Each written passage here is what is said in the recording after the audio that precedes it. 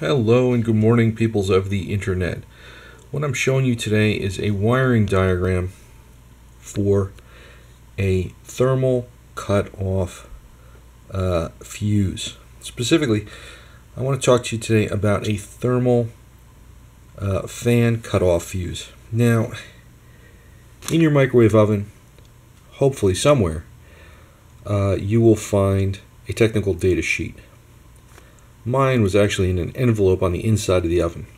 Anyway, long story short, this is the technical data sheet. There's a wiring diagram, and then there is a schematic wiring diagram. And what you really want is the schematic wiring diagram. And the reason that you want this is because it's going to have all your symbols and tell you some very important things. Now,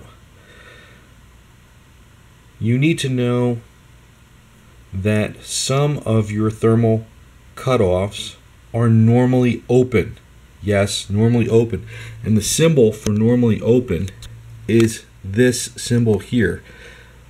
Um, there should be two little breaks there, but they're not. Anyway, the symbol for normally closed is this symbol here.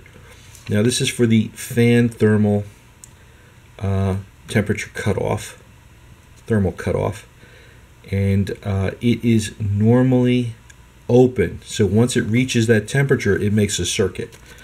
We know this because this is a blue wire, this is a blue wire. I've looked inside and I found it. Yes, when you put your continuity tester across the two poles of this fan thermal TCO, it will look like an open circuit. It only closes when it reaches the super high temperature. That's what you need to know. This is ah, go on the internet and look for the symbol, schematic symbol uh, for wiring schematic diagrams, and you will find what these mean. And and you've got to have a schematic, a technical data sheet if you're going to try to fix your microwave. So, but yes, normally closed, normally closed. You will see continuity across both of these uh, thermal cutoffs, you will not see it. This will appear to be an open circuit. Ah, so this is really important. And I wish I would have looked at this more carefully before I ordered one of these for $50.